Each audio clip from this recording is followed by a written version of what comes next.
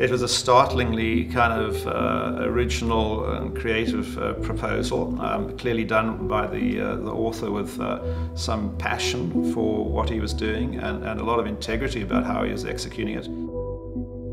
makes claims about a, a, very sustainable condition, but I don't think that's really the point about the house. I think the house is really about experience and it's about the drama of pulling into this gap between you know two folds of earth and then living within that space and then having this kind of water uh, at the end of it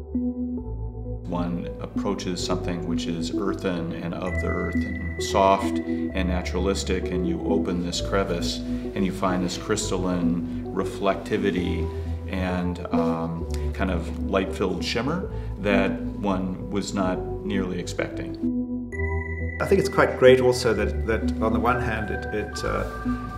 it, it, really sets itself apart with a very dramatic concept, but then again at the same time it buries itself into the earth. So it's sort of doing two things at once. It's both being uh, extremely bold, but it's also